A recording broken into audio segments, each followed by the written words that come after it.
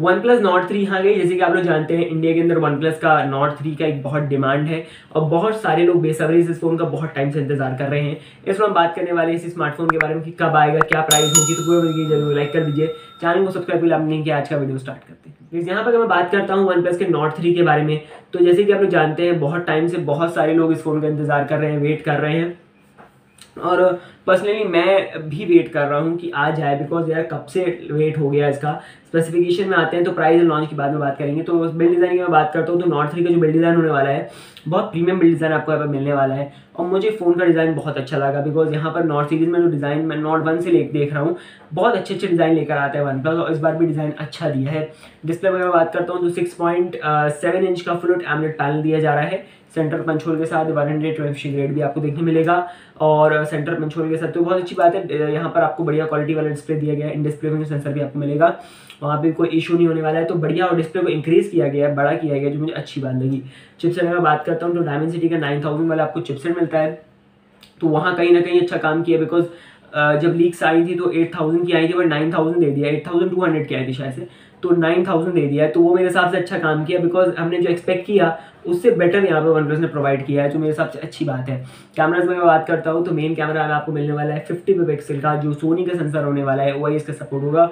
Ultra wide मिल जाएगा micro lens भी आपको देख मिल जाएगा ट्रिपल रियर कैमरा रियर में मिलने वाले हैं। सेल्फी में थर्टी पिक्सल की सेल्फी मिल जाएगी, वहाँ से आप वन थाउज़ेंड एटी में बना सकते हो। तो कैमरा डिपार्टमेंट में फ़ोन मुझे अच्छा लगा, यहाँ पे कोई इशू आपको नहीं मिलता है। बैटरी में आता हूँ तो अराउंड यहाँ पर आपको जो बैटरी मिलने वाली है, वो पाँच हज़ार एम मिलने वाली है plus type C and eighty watt की फास्ट मिलने वाली है। मतलब यहाँ पर अच्छी बात करिए कि यहाँ पर बैटरी इंक्रीज़ की बट टाइप एट्टी वोट मतलब वन ट्वेंटी वोट की जो लीक्स आई थी, वो कंफर्म नहीं हुई और ना उसको लोग ने लेकर आ रहे हैं।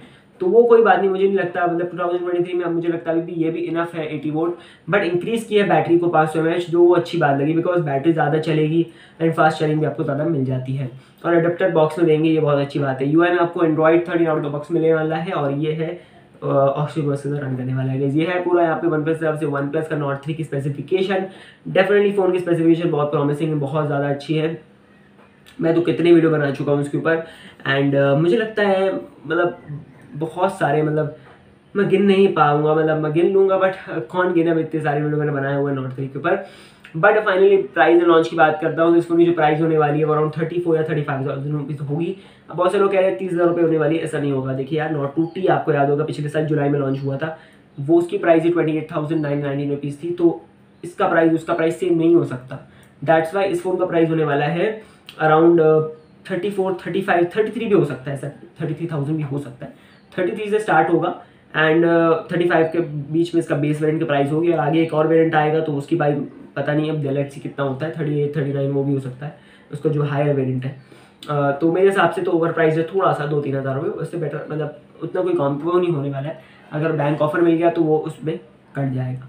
अब बात करते हैं लॉन्च के बारे में क्योंकि मुझे पता है बहुत सारे लोग इसी के लिए वीडियो देखते हैं तो आपको बताना चाहता हूँ कि आपके लिए गुड न्यूज़ है। कि मे का मंथ चल रहा है एंड कहा जा रहा है कि जून के मंथ में आ जाएगा एंड इससे ज़्यादा लेट नहीं करेगा वन प्लस जितना लीक आई है।